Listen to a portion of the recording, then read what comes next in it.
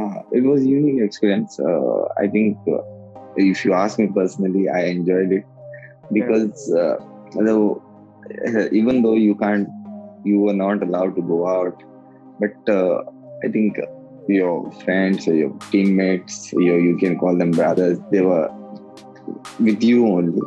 Like if you, if you, if anytime you go to meet them, you can like uh, for us for uh, from our club we uh, the club has put in so much that uh, we had a tt table a carom Mhm. table and some few games chess was one of them Yeah. We saw the playstation videos. We saw the videos. yeah yeah so i think it was pretty fun and enjoyable and uh, i think the credit goes to the club for doing uh, for giving us such a big lounge so that we are not bored i think the credit should go to the club So, do you think that this uh, team bonding or the spirit that you had in the hotel room helped you to do well on the field?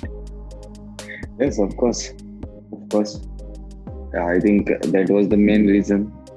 Uh, being in the bio bubble, that we bonded really well with each other. Hmm.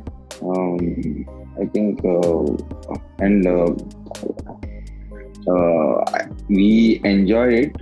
Uh, but uh, I think uh, more of a thing like if you, I can say that it was good that we want bonded really well Yeah. and that showed that showed on the ground and i think that helped us a lot to win both the titles